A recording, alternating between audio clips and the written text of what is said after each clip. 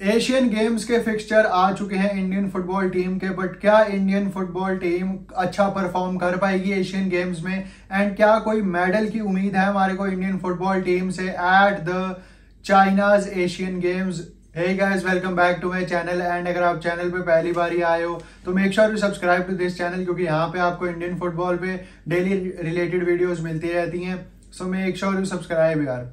So let's start the video कल Asian games के official fixtures आ चुके हैं इंडियन फुटबॉल टीम के। एंड हमारा पहला मैच है against the home team China we all know that nineteen of September को इंडिया अपना कैंपेन स्टार्ट करेगी एशियन गेम्स का against China we all know that कि चाइना एक इकलौती ऐसी टीम है जो इंडिया को बहुत अच्छा टक्कर दे सकती है इन द ग्रुप स्टेजेस क्योंकि उसके बाद 21 सितंबर को एंड फिर 24 सितंबर को हमने बांग्लादेश एंड म्यांमार के साथ खेलना है। बट चाइना का जो मैच है वो नाइनटीन ऑफ़ सेप्टेम्बर को है। उससे पहले अगर हम थोड़ा सा आ जाएँ तो हमने 6 सितंबर 9 सितंबर एंड 12 सितंबर को हमने खेलना है अंडर 23 एशिया कप क्वालिफायर्स में। तो कहीं ना कहीं 12 सितंबर को हम अपना आखिरी मैच खेलेंगे उस टूर्नामेंट का, जो कि हमारे को चाइना में ही खेलना है, वो भी टूर्नामेंट क्योंकि चाइना हमारी उस ग्रुप की होम टीम है तो सारे मैचेस चाइना में ही होंगे।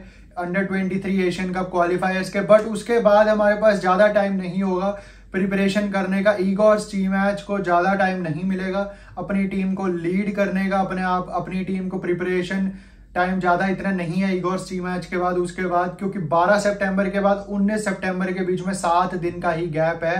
एंड जो हमारी अंडर 23 एशियन कप क्वालिफायर्स में टीम जाएगी, वो लीड करेंगे क्लिफर्ड मिरांडा एंड यहाँ पे हमारे को लीड करेंगे एशियन गेम्स में ईगोर्स टी मैच तो कहीं ना कहीं जो हमारे टीम मेंबर्स है, अगर मैं उनकी बात करूँ तो पाँच छह प्लेयर्स हमारे वही हैं जो अंडर 23 एशियन कप क्वालिफायर्स खेल के भी आएँगे चाइना से। तो कहीं ना कहीं देखने वाली बात ये होगी कि क्या ईगोर सी मैच उन्हीं चार पाँच प्लेयर्स को ज़्यादा प्रेफरेंस देंगे तीनों मैचेस में? क्योंकि अगर देखा जाए तो एक तरीके से फिर से हमारे को जल्दी जल्दी मैचेस खेलने हैं एशियन गेम्स में भी, क्योंकि पहला मैच 19 सितंबर को है against the heavy weight China फिर उसके एक ही दिन के बाद 21 सितंबर को हमने फिर से खेलना है बांग्लादेश के अगेंस्ट तो कहीं ना कहीं रोटेशन हमारे को देखने को मिलेगी काफ़ी अच्छी हेल्दी रोटेशन देखने को मिलेगी after the match of China क्योंकि बांग्लादेश और म्यांमार 24 तारीख वाला जो है म्यांमार के अगेंस्ट आई डोंट थिंक इतनी ज़्यादा प्रॉब्लम देंगे ये दोनों फिक्सचर्स इंडियन फुटबॉल टीम को। बट हमारे को ये बात बिल्कुल ध्यान में रखनी है कि चाइना बिल्कुल एक आसान टीम नहीं होगी। फुल हाउस कैपेसिटी का स्टेडियम है उनके पास, सारे लोग उनको सपोर्ट कर रहे होंगे उनके होम स्टेडियम में ही क्योंकि मैच है। तो कहीं ना कहीं इंडिया को अपनी ए क्लास गेम दिखानी पड़ेगी।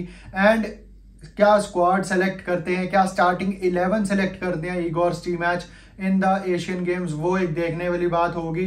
क्या वो रोटेशन करना शुरू करेंगे? पहले ही मैच से क्या वो सुनील छेत्री, झिंगन, गुरप्रीत सिंह संधू तीनों ही मैचेस खेलेंगे?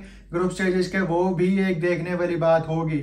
बट रोटेशन के साथ साथ हमारे को यह भी देखना है कि उसके बाद हमने अगर राउंड ऑफ़ सिक्सटीन में जाना है उसके बाद फिर क्वार्टर फाइनल जाना है तो वो भी हमारे को अपने चांसेस बनाने पड़ेंगे। क्योंकि अगर हम अपने ग्रुप में टॉप पे फिनिश करते हैं तो ऑटोमेटिकली हमारे को सामने वाले ग्रुप से नंबर टू पोजीशन की टीम मिलेगी, जो कि थोड़ी सी कंपैरेटिवली मैं देखता हूँ, आसान होगी। चाहे वो कोई भी ग्रुप हो, उसमें सेकंड नंबर की अगर हमारे को टीम मिलेगी after we finish first in the group तो काफ़ी सही रहेगा इंडियन फुटबॉल टीम के लिए। बट कहीं ना कहीं अगर हम फाइनल तक पहुँचते हैं, या हम ब्रॉन्ज मेडल के मैच तक भी पहुँचते हैं, आखिरी दिन जो कि है सेवंथ ऑफ़ अक्टूबर जब ब्रॉन्ज मेडल मैच भी खेला जाएगा and gold medal silver medal match भी खेला जाएगा, उसी दिन, एक ही दिन पे ये दोनों मैचेस खेले जाएँगे। तो कहीं ना कहीं एक हिस्ट्री ऑलरेडी बन जाएगी अगर हमारी टीम वहाँ तक पहुँच गई तो सेवंथ ऑफ़ अक्टूबर तक। बट कहीं ना कहीं बहुत ही एक मुश्किल टास्क होगा क्योंकि likes of Japan South Korea South Korea Iran Iraq ये सब टीम्स हमारे को फेस करनी पड़ेंगी। उज्बेकिस्तान की अगर मैं बात करूँ तो तो कहीं ना कहीं ये सब टीम्स को हमें हराना पड़ेगा। अगर हम नहीं भी हरा पाए तो it's not a very big deal ये हमारे लिए एक प्रैक्टिस टूर्नामेंट है। हमारे बॉयज़ के लिए एक अच्छा टूर्नामेंट होगा ये। Before the Merdeka cup and before the World Cup qualifiers जो कि नवंबर में होंगे। तो कहीं ना कहीं ईगोर सी मैच के पास अभी कितने दिनों का उनको कैंप मिलेगा, वो भी एक देखने वाली बात है। क्योंकि as of now twenty of August के बाद भी कोई ज़रूरी नहीं है मैंडेटरी नहीं है कि जो क्लब्स होंगे आईएसएल के, वो अपने प्लेयर्स को रिलीज़ कर दें for the upcoming AFC under 23 Asian Cup qualifiers कहीं पे भी ये नहीं लिखा हुआ है कि मैंडेटरी है 20 अगस्त के बाद आपको प्लेयर्स को रिलीज़ करना।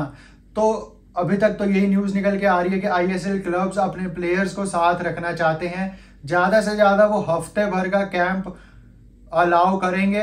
आईएसएल के प्लेयर्स को कि वो जाएँ नेशनल टीम में जाके खेलें वो तो कहीं ना कहीं वो भी एक देखने वाली बात है कि क्लिफर्ड मिरांडा को भी कितना नेशनल कैंप का टाइम मिलता है, क्योंकि लग नहीं रहा कि ज़्यादा दिनों का नेशनल कैंप ऑर्गेनाइज करा पाएगी A I F F for the under twenty three Asian Cup qualifiers तो अगर यही सिनेरियो रहा तो फिर ऑटोमेटिकली ईगोर टी मैच और उनकी टीम के कॉम्बिनेशन के ऊपर भी, उनके प्लेइंग स्टाइल के ऊपर भी कहीं ना कहीं इम्पैक्ट पड़ेगा, क्योंकि match practice and training practice are two different things match में उतरने से पहले आपको ट्रेनिंग भी अच्छी खासी मिली होनी चाहिए, ताकि आपके प्लेयर्स की रिदम वो वापस आ जाए एंड जेलअप हो जाए अच्छे से आपके प्लेयर्स बट अगर वो एडिक्वेट टाइम नहीं मिला हमारे इंडियन फुटबॉल प्लेयर्स को before the under 23 Asian Cup qualifiers या एशियन गेम्स तो ऑटोमेटिकली वो टूर्नामेंट में भी जब हमारी इंडियन टीम उतरेगी तो वो इम्पैक्ट दिखेगा हमारे को lack of match fitness lack of match training कहीं ना कहीं इम्पैक्ट डालेगा इतने हाई इंटेंसिटी वाले मैचेस में।